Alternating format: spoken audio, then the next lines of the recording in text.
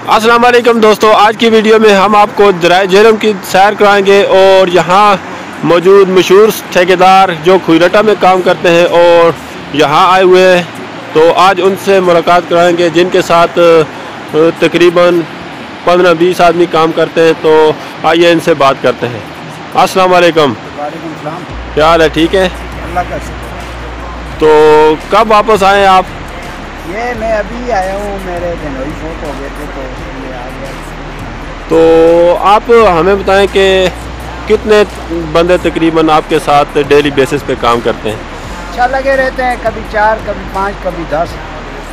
अच्छा तो आपको दरिया के बारे में ख़ासा एक्सपीरियंस है तो आप दरिया के हवाले से हमें बताएँ कि इसमें फ़िश लगती हैं या नहीं क्या सिचुएशन है? देखो जी, बात ये है कि फ़िश लगती है, इसमें कोई शक नहीं है, लगती है, लेकिन गर्मियों में ज़्यादा होती है क्योंकि पानी का ज़्यादा दबाव होता है और सेंटर में मच्छी नहीं रहती है, किनारा पकड़ लेती है। लेकिन आजकल जो है, मच्छी बाहर बहुत कम चांस होते हैं, पानी ठंडा हो जाता है और ये सेंटर पकड़ लेती है मच्छी।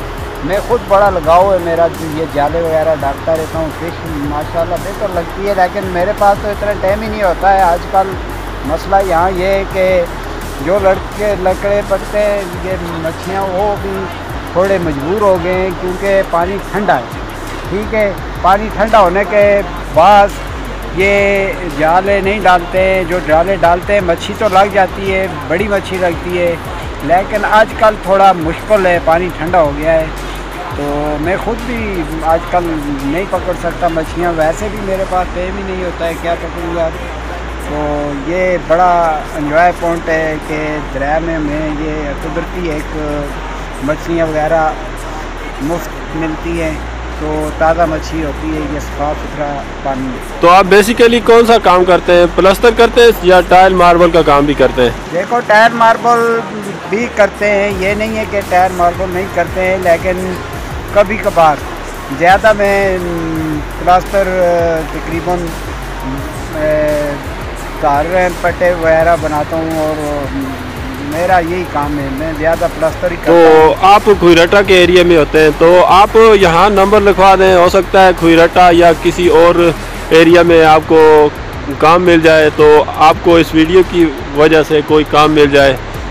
ये काम का तो शुक्र अलहमदिल्ला वीडियो या कोई पोस्टर नहीं भी लगाए तो अल्लाह ताला रिज़ल्ट देता है, लेकिन फिर भी ये है कि मेरा नंबर ज़ीरो तीन सौ छियालीस, पाँच सौ साठ अठाई बारह नंबर है मेरा। तो माशाल्लाह आज तक काम की कमी नहीं पड़ी है।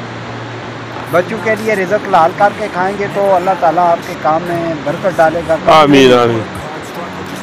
तो शुक्रिया सगीर साहब। Take care good bye